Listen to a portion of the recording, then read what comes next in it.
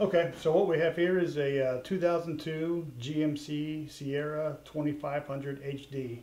It's a SLE trim level, and it was originally Tony Stewart's truck. Uh, the truck was purchased back in 2004 from True Speed Enterprises, uh, and it has um, it's completely loaded. Uh, it's not an SLT. It has a cloth interior, but it does have a sprayed-in bed liner. It's got a tonneau cover. It has about a three or four thousand dollar audio system in there with a sub box. It is. Um, I purchased it off of Tony uh, when I was working at Joe Gibbs Racing, and it had 35,000 miles on it and was pulled behind the uh, motor coach for a year uh, through the race uh, when he went to the races. It does have a strobe light kit on it installed for when they took him out for driver introductions. Um, I have put mileage on it since. I picked it up at 35,000 miles and it now has 305,000 miles. It has its third set of injectors. It has a bunch of bolt-on uh, parts. Uh, it does not have oversized injectors or an oversized turbo. It was never raced. It was never truck pulled.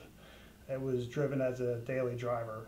And uh, it is in uh, probably 8 out of a 10 shape and it has the rust spots on the cab corners that's pretty prevalent on these uh, GM models and uh, it has been a good truck. I have had no other issues with it. It does have a rebuilt transfer case.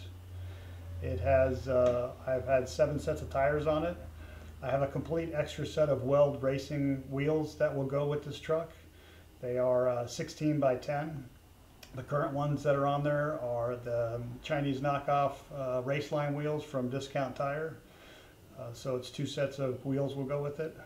And it has a rebuilt front suspension on it that was within the past probably three years. It has, um, has uh, new shocks that have been on there. They're probably a year and a half old.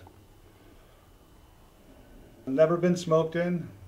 It has a uh, torsion bar lift um, it does not have a regular lift, just the torsion keys. So a torsion key uh, leveling kit.